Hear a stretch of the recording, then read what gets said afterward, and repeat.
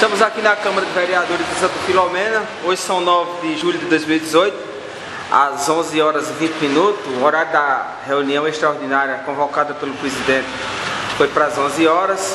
A gente vê aqui a presença de apenas quatro vereadores, Adelvante Campos Santo, Danilo Macedo, o presidente Wallace, o vereador Xixico, onde seria feito a leitura, debate e votação da lei da resolução 01/2018 que que trata da do sistema de informação ao cidadão, a SIC, né, uma recomendação do Tribunal de Contas.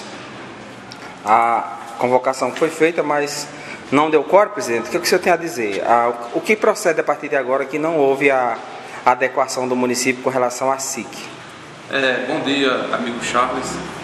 Assim, fiz minha parte com o presidente, recebi a orientação do Tribunal de Contas a fazer essa reunião extraordinária e fiz o, é, o comunicado a todos os vereadores através de ofícios e alguns vereadores não receberam o ofício, é, não sei o motivo de não receber o ofício, mas assim mesmo alguns vereadores assinaram, algumas esposas de alguns vereadores não estavam na sua residência, mas receberam os ofícios e vimos para a reunião para aprovar o projeto de lei que através do Tribunal de Contas me orientou a fazer essa, essa, essa votação desse projeto.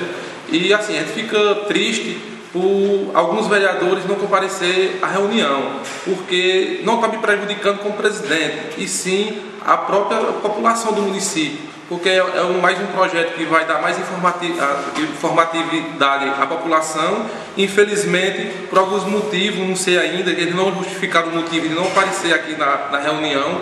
Quero aqui é, parabenizar os vereadores que estão aqui nesse momento, o vereador Danúbio, companheira da UFAM, o vereador Xixico, é, por ter acatado a decisão da Câmara aqui do presidente e vir aqui à reunião, fizeram seu papel como vereadores do município. É, e a, a, partir de agora eu vou conversar com o jurídico para a gente ver o andamento, o que vai acontecer. Porque é um projeto que tinha prazo até hoje para ser aprovado, para a gente é, mandar para o Tribunal de Contas e vou é, agora passar para o lado do jurídico da Câmara para resolver a parte é, burocrática. Ok, presidente, a gente agradece pelas informações.